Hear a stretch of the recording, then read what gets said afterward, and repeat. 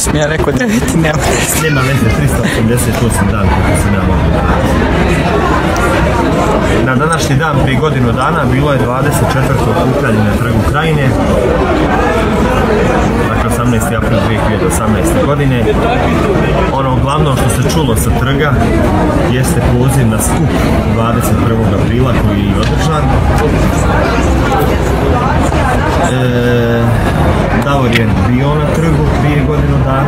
kažem da je Davor bio? Zato što dan prije Davor nije bio, bio u Sarajevu, što sam rekao juče. To je po prvi put da je Davor bio odsutan, bio u Sarajevu i sastao se sa Muricom. I tada je negdje počeo njihov kontakt. I sad kad kažem ovo, sjetim se jednog nečovjeka koji je samo jednom izrekao jednu tvrdnju, već nekoliko puta, to je čovjek iz Srbije, čovjek po navodne znake iz Srbije, Vojislav Šešelj, koji je rekao kako se to pravi jedna priča, Srbin Davor, e, musliman Muri se našli pod, pod njegove pod navodne kako je rekao, našli i sad eto kaže neko Hrvata iz Mostara, ali taj Hrvat je skontao u prljavu igru, pa nije pristao na nju, pa su ostale dalje. to normalan mozak stvariti ne može, ali nenormalni mozgovi svakako da mogu. Zato, zato im se i servirala i servira i dalje od nekih takvih priča.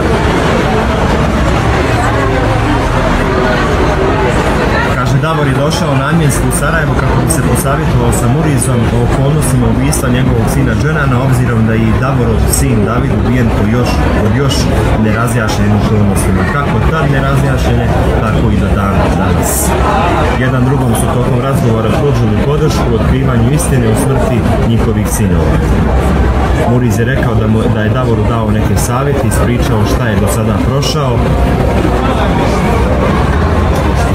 Murizu rekao šta on sve prolazi i otprilike su to slične priče.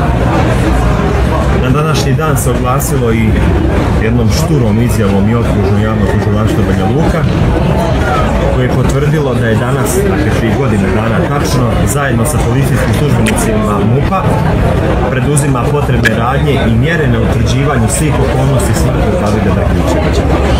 U radu na ovom predmetu učestvuje tim tužilaca koji zajedno sa policijskim službenicima vrše provjere određenih lica i njihova saslušavanja. Navedeno je u saopštenju okružnog javnog tužilaštva. Dodaju da se provjere obavljaju u različitim pravcima i bit će nastavljeni narednih dana, te da će uskoro tužilaštvu biti dostavljeni rezultati naređeni vještacima.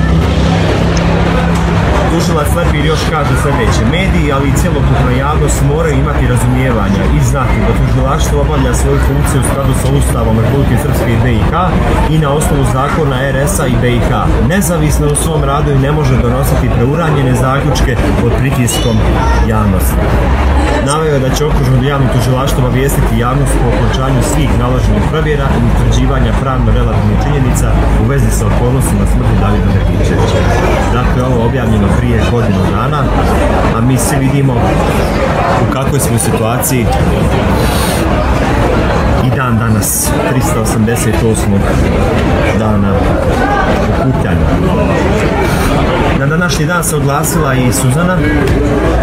Suzana se oglasila povodom one emisije od juče, odnosno prije godinu dana od juče, je gostovao, to sam juče detaljno pričao o tome, gdje je gostovao ministar Lukač i koji je tada u jučerašnjoj emisiji rekao kako je sama majka Suzana došla, donijela snimak i sama majka Suzana rekla to je sin David, nađite ga, to je sin David, nađite ga. I sad kaže Suzana sljedeće, što je bila na današnji dan. Moram da objasnim ovo, da sam ja prepoznala Davida na snimku. Taj snimak su nama pokazali u policiji početkom sedmice, s tim da je onaj snimak gdje čovjek šepa stavljen na prvo mjesto. To gdje čovjek šepa je zapravo onaj snimak gdje ona osoba koja šepa izlazi iz opljačkane kuće. Pod navodne znaka opljačkane kuće. Ja sam rekla, to nije moje dijete, nisam ni gledala drugi snimak. A drugi snimak je onaj zapravo kada lice ulazi u kuću. Poslije par dana pogledala sam ponovo snimak, ali pravim redoslijedom. Momak ulazi u kuću sa telefonom, a izlazi neko šepajući. To je bio petak, zovem policiju, javlja mi se dežurni inspektor koji radi na slučaju nestanka Davida Drgića Drvičevića i kaže da nije pogledao taj snimak. Pitam ga šta ja sad radim, možda je to moje dijete. Kaže Suzana još, očajna majka traži sina, vidi ga u svima, samo da je živ. Inspektor mi kaže zovite policijsku stanicu Lauš jer on nema pojma ili vremena. Zovem policijsku stanicu Lauš, oni snimak nemaju, ja odlazim kod njih sa snimkom. Kod njih je prijavljena probala urađena u kuću. Kaže mi, ljudi moji, ja želim da ovo bude moje dijete, želim da je živ, želim da, da je bilo šta samo da je živ. Ali onaj snimak kad izlazi, neko to nije David. Kaže Suzana još, oni se sad drže toga, majka ga prepoznala. Dokažite mi da je to moj sin, dokažite mi da je to David, vi ste policija. Zar ja sad treba vama da dokazujem da to nije moje dijete? Gdje je tu logika? Osim toga i da jeste David, gdje je bio još tri dana? On je bio živ do 21. odnosno 22. marta, gospodine ministre. Kaže Suzana, tačno na današnji dan. Ono što je još obilježilo današnji dan prije godinu dana i baš na trgu Krajine jeste pod navodne znake kako su to, kako je to na fabrika laži prezentovala napad na ekipu RTRS-a. Tada 24. dana zaista se pojavio kamerman, kamerman RTRS-a pred kraj skupa. Znam, baš sam bio ja blizu tu. I zaista se desilo sljedeće, dio okupljenih je negodovao i tražio da se ekipa te kuće udalji sa skupa prava za Davida. Davor Drvičević pozvao je na mir i rekao da se ne napada na bilo koga nisu potrebne i poželjne, ali je dodao i da oni koji do sada nisu pratili skup na trgu krajine to ne treba da počinje ni mjesec dana od početka okupljanja. Davor je time sasvim dovoljno rekao, dakle, niste bili ovo vrijeme došli nakon mjesec dana. I ono što smo mi i tada rekli, nikakvi napadi ne dolaze u obzir. Negodovanja je bilo verbalno i razumljivo je negodovanje. Ja sam sam negodovao, ja sam sam govorio da tom kamermanu to nije mjesto, ali ni sam taj kamerman koji je došao nije kriv tome, on je poslat tu sa zadatkom. U svakom slučaju, zbog negodovanja ljudi koji je bilo prije godinu dana s Trga krajine, udaljen je kamerman radio televizije Republike Srpske, odnosno fabrike Laši. I njima zaista, zaista, kao što je Davo rekao, nije bilo mjesto.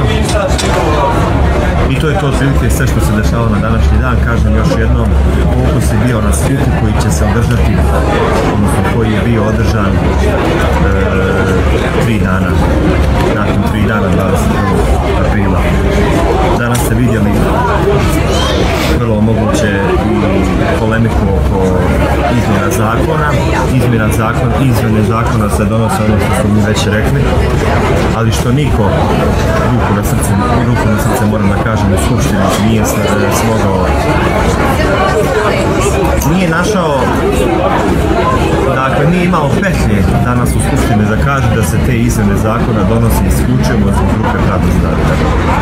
Nažalost, to se tako u tom momentu nije moglo čuti. Možda je to jednostavno moja želja da se tako čuje, ali mislim da je bilo i fair i pošteno da se tako kaže, jer zaista te izmjene zakona se donose isključivo grupe pravde zdravlja i svega onoga što je ta grupa radila u prethodnih godinu dana, nešto neviđeno kako u gradu, tako i šire, dakle na jedan miran i dostojanstven način upornošću i strajnošću koju grupa i dan danas pokazuje na, e, grupa je napravila ogromna čuda. Iako glavni razlog zbog kog smo se nije okupili nije, odnosno pitanje koje smo postavili prije tako više godinu dana, na njega nismo dobili odgovor, ali super je to, odlično je to i srećom razobličene su mnoge lažne montirane konstrukcije. Pod pritiskom, to slobodno se može reći, pod pritiskom stranaca zakon o javnom okupljanju je povučen. Onaj dio o zabrani fotografisanja službenih tako više stranci koji su sasvim sigurno izvršili potpise.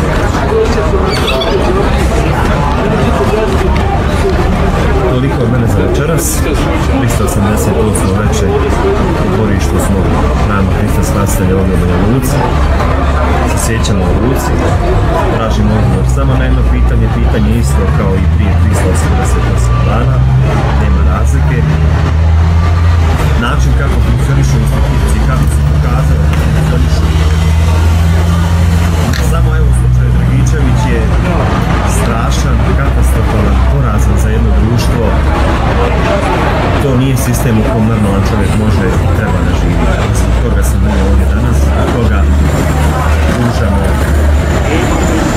dakle, jednom vrstom otpora sa svijećom u ruci, mirno dostojanstveno, to je otpor protiv ovako pod navodne znake rada institucija. Sačuvaj nas Bože!